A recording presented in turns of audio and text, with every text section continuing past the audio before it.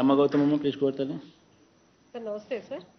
Sir sir మరి చిరు వ్యాపారస్తులకి అదే విధంగా సార్ ఈ సాంప్రదాయ హస్తకళాకారులకు సార్ మనకందరికీ తెలుసు సార్ వాళ్ళు ఏ విధమైన ఆర్థిక ఇబ్బందులకి గురవుతున్నారు. చిన్న మొత్తాన్ని కూడా అధిక వడ్డీకి తీసుకొని వచ్చి ఎన్నో సందర్భాల్లో ఆ వడ్డీ కూడా కట్టలేక ఇబ్బందులు పడే సందర్భాలు తమరు గుర్తించి మరీ ముఖ్యంగా సార్ మహిళా చిరు వ్యాపారస్తులకి మరి తోడుగా నిలవాలని ఒక మంచి సంకల్పంతో తమరు ఏదైతే ఈ కార్యక్రమాన్ని చేపట్టారో సార్ ఈ జగనన్న తోడు కార్యక్రమం జిల్లాలో కూడా సార్ ఇప్పటి వరకు మరి ఎనిమిది విడతల్లో కూడా సార్ దాదాపు నూట నలభై ఒక్క కోట్ల రూపాయలని వారి ఖాతాకి మనం అందించడం జరిగింది సార్. యూనిక్ బెనిఫిషరీస్కి వస్తే సార్ జిల్లాలో sixty four thousand beneficiaries have been benefited under the schemes sir ఈరోజు ఎయిత్ ఫేజ్లో కూడా సార్ దాదాపు మనం చూస్తే సార్ జిల్లాలో పద్దెనిమిది వేల ఆరు వందల లబ్ధిదారులకు గాను సార్ ఒక పంతొమ్మిది కోట్ల అరవై ఎనిమిది లక్షల రూపాయలు తమ చేతుల మీదుగా ఈ రోజు వారి ఖాతాలోకి జమ అవుతుంది సార్ అదే విధంగా సార్ ఎవరైతే సక్రమంగా మీరు అన్నట్టు దాన్ని తిరిగి కట్టారో కొంత పురోగతి ఏదైతే వాళ్ళు చూపించుకొని ఈ విధంగా కట్టారో వాళ్ళందరికీ కూడా సార్ ఆ వడ్డీని మాఫీ చేస్తూ మరి ఆ విధంగా తిరిగి మళ్ళా వాళ్ళ అకౌంట్కి కూడా ఈ రోజు జమ అవుతాం సార్ అందులో భాగంగా జిల్లాలో దాదాపు ఇరవై రెండు వేల ఎనిమిది వందల మంది లబ్ధిదారులకు కూడా సార్ వారి యొక్క ఖాతాకి దాదాపు అరవై లక్షల రూపాయలు కూడా ఈ రోజు జమ అవుతాం సార్. ఇంత చక్కటి కార్యక్రమం సార్ ఈ రోజు జిల్లా నుంచి కూడా వివిధ ప్రజా ప్రతినిధులు సార్ అదే విధంగా మనకి వివిధ కమిషన్స్ ఏవైతే కార్పొరేషన్స్ ఉన్నాయో దానికి సంబంధించిన చైర్ పర్సన్స్ కూడా ఇక్కడ ఉన్నారు సార్. మొదటగా జడ్పీ చైర్పర్సన్ బోయ గిరిజమ్మ గారు ఉన్నారు సార్. సార్ అదే సార్ డిప్యూటీ మేయర్ గారు భాస్కర్ రెడ్డి బాగుండన్న రిజ్వాన్ సార్ మంజుల గారు సార్ ఆర్టీసీ జోనల్ చైర్పర్సన్ గారు సార్. సైఫుల్లా గారు సార్. సైఫుల్లా గారు కూడా ఉన్నారు sir president district minority sir. Sir అదే విధంగా వాసిం గారు సార్ మేయర్ గారు సార్. డిప్యూటీ మేయర్ గారు వాసంతి గారు కూడా ఉన్నారు sir. Chairperson sir Nataka academy sir Pramila గారు ఉన్నారు sir. TWC chairperson TWC chairperson Meda Ramalakshmi గారు ఉన్నారు సార్. మన గ్రంథాలయ చైర్పర్సన్ కూడా సార్ ఉమాదేవి గారు కూడా ఈ రోజు ఇక్కడ ఉన్నారు సార్ ఈ కార్యక్రమంలో తమతో పాల్పంచుకున్నారు బాగుండరమ్మ మోహన్ అన్న బాగున్నాడమ్మా? సార్ మరి ముఖ్యంగా సార్ ఈ రోజు లబ్ధి పొంది సార్ ప్రతి ఒక్కరు కూడా సార్ ముఖ్యంగా కూడా మహిళా చిరు వ్యాపారస్తులు అందరూ కూడా సార్ వాళ్ళ ధన్యవాదాలు తమరికి తెలియజేసుకుంటున్నారు సార్. ఆ విధంగానే ఈ రోజు ఇక్కడ శ్రీమతి లక్ష్మీదేవి గారు సార్ మన అనంతపురం టౌన్కు సంబంధించి ఇది మూడో సంవత్సరం సార్ ఆవిడ ఈ రుణం తీసుకొని మరి ఆవిడ టైలరింగ్ కానివ్వండి సార్ అదే విధంగా పూల వ్యాపారం కూడా చేసుకుంటూ మరి ఆవిడ ఒక సంతోషాన్ని ఆవిడ ఒక అనుభవాన్ని తమరితో పాల్పంచుకోవడానికి తమరు అనుమతిస్తే సార్ ఈ రోజు మాట్లాడతారు తల్లి. నా బాగున్నారన్న బాగుండమ్మా థ్యాంక్ యూ తల్లి. ఈ రోజు మీతో ఇట్లా మాట్లాడే అవకాశం వచ్చిందని చిరు వ్యాపారస్తుడిగా నేను ఉన్నందుకు చాలా సంతోషపడుతున్నానన్న. నిజంగా సీఎం గారితో మాలాంటి చిరు వ్యాపారస్తులు మాట్లాడతారు అనేది కూడా మేము కలలో కానీ ఊహించలేదన్నా. నిజంగా ఇట్లాంటి అవకాశం నాకు రావడం నాకు అసలు మాటలు రావడానికే చాలా ఆనందంగా ఉందన్న. అన్న రెండు వేల పంతొమ్మిదిలో కరోనా టైంలో నేను పూల వ్యాపారము టైలరింగ్ చేసుకుంటానన్నా. మా ఆయన వచ్చేసి చిన్న మెకానిక్గా పనిచేస్తారన్న. ఆ టైంలో మా మొత్తం వ్యాపారాలన్నీ బంద్ చేసుకొని ఇంట్లో కూర్చోవాల్సిన పరిస్థితి ఏర్పడిందన్న. ఆర్థికంగా మా కుటుంబం చాలా ఇబ్బంది పడిందన్న.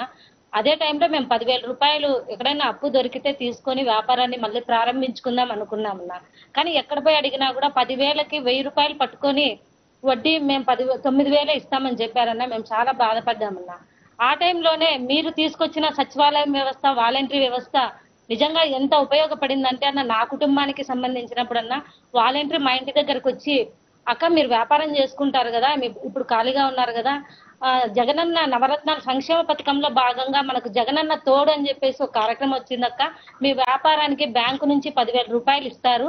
మీరు ఏమైనా దాంట్లో అప్లై చేసుకుంటారంటే నిజంగా మాకు చాలా సంతోషం అనిపించింది అన్న వెంటనే మేము అప్లై చేసామన్నా చేసిన వెంటనే ఎవ్వరి సిఫారసు లేకుండా ఎక్కడా లేకుండా కూడా డైరెక్ట్గా పదివేల రూపాయలు నా అకౌంట్ లేక నా బ్యాంకు బుక్ లేకే పన్నాయన్న నాకు చాలా సంతోషం అనిపించింది.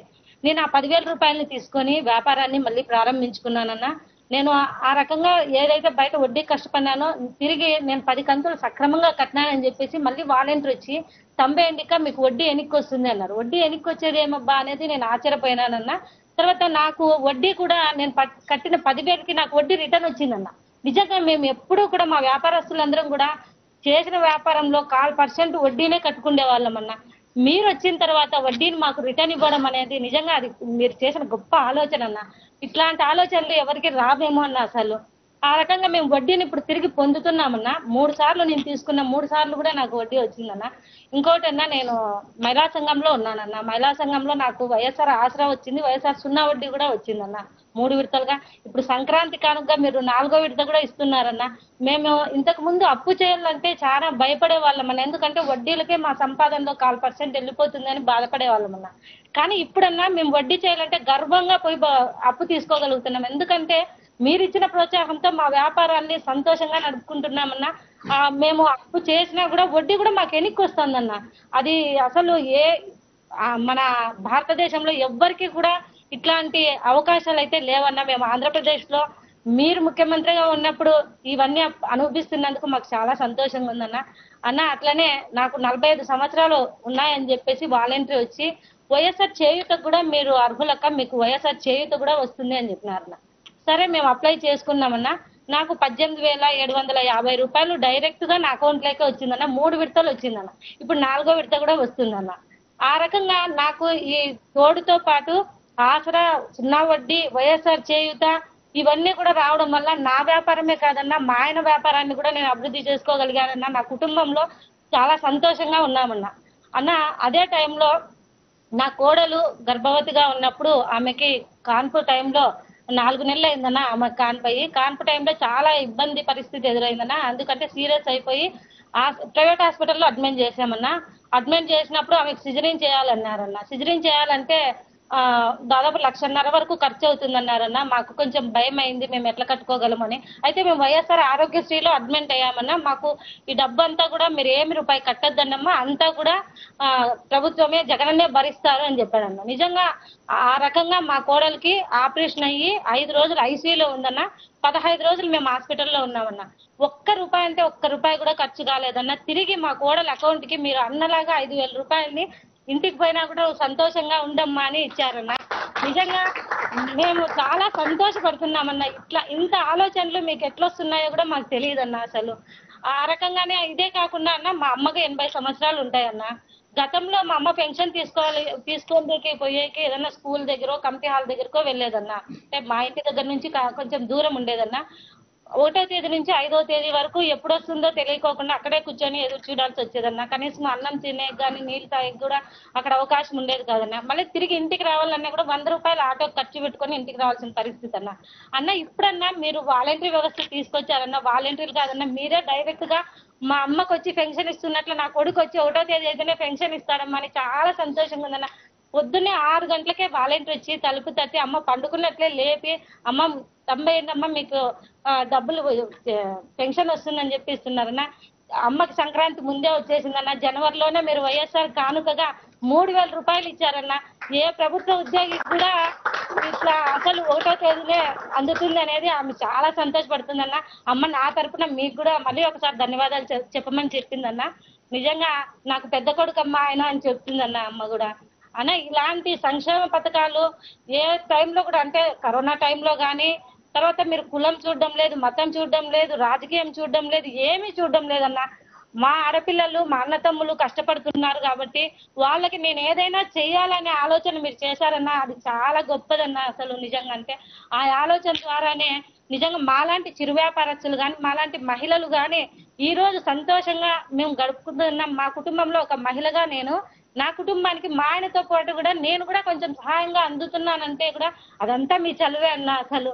నిజంగా అన్న మేము- చిరు వ్యాపారం ఇంతకు ముందు మమ్మల్ని పని చేసుకునే వాళ్ళు అంటే కూలి పని అట్లా అనుకునే వాళ్ళని ఇప్పుడు మేము ఒక వ్యాపారస్తులుగా గుర్తింపబడినామన్నా మీ హయాంలో చిరు వ్యాపారస్తులు అని మాకు గుర్తింపు కూడా వచ్చిందన్న నాకు గుర్తింపు కార్డు కూడా ఇచ్చారన్న. ఎక్కడ పోయినా కూడా నేను ఆ కార్డు చూపిస్తే నాకు ధైర్యంగా లోన్లు కూడా ఇస్తున్నారన్న. అన్న మీరు మాకు సీఎం గా రావడం అనేది నిజంగా మా ఆంధ్రప్రదేశ్ అదృష్టం అన్న అది. మీ మిమ్మల్ని తిరిగి మేము పదే పదే గెలిపించుకుంటామన్నా అది మా బాధ్యతగా మేము భావిస్తున్నామన్నా మీరు సీఎం గా మాకు ప్రతిసారి కూడా రావాలని అన్న నాకు ఇల్లు కూడా లేకుండా ఉండేదన్న. మీ ద్వారా జగనన్న కాలనీలో నాకు ఇల్లు కానీ వచ్చిందని నేను ఇప్పుడు ఒక ఇంటి దాన్ని కూడా అయినానన్న. నిజంగా ఇవన్నీ కూడా మీరు పెట్టిన నిజంగా మాకు ఒక భిక్ష మాదిరిగా అనుకోవాల్సిందేదన్నా. నాకే కాదన్నా నాలాంటి మహిళలందరికీ కూడా చాలా ఇప్పుడు చెప్తున్నారన్న మీరు చెప్తున్నారు లక్షల్లో వేలల్లో అంటే వింటుంటేనే వాళ్ళు పులకరిస్తుందన్న నిజంగా అంటే. ఇంతకు ముందు పేదవాళ్ళని ఎవరు కూడా అంత గుర్తించే వాళ్ళు కాదన్న. ఇప్పుడైతే మేము బ్యాంకుల్లో పోయి ధైర్యంగా కూర్చొని బ్యాంకర్స్ ముందర కూర్చొని మేము లోన్లు అడుగుతున్నామంటే అదంతా కూడా మీరు ఇచ్చిన ధైర్యం అన్న మాకు నిజంగా అంటే. అన్న మిమ్మల్ని గెలిపించుకునే బాధ్యత మాదన్న. ఖచ్చితంగా మీరే మాకు ప్రతిసారి సీఎంగా కావాలి. ఈ సంక్షేమ పథకాలు ఎక్కడా కూడా ఆగకూడదన్న. మీ- మీరు వస్తేనే ఈ సంక్షేమ పథకాలన్నీ మాకు ఇంకా ఇంకా మీరు ఇచ్చిన దానికంటే కూడా చెప్పిన దానికంటే ఇంకా ఎక్కువే ఇస్తున్నారన్న. కాబట్టి మీరే మాకు సీఎంగా కావాలని చెప్పేసి నాకు ఈ అవకాశం ఇచ్చిన మా స్టాఫ్ అందరికీ కలెక్టర్ మేడం గారికి అందరికీ కూడా మళ్ళొకసారి ధన్యవాదాలు తెలియజేసుకుంటూ నమస్తే అన్న. పద్మమ్మ కదమ్మా? థ్యాంక్ యూ తల్లి. లక్ష్మమ్మ థ్యాంక్ యూ తల్లి Gauthamma thank you thank you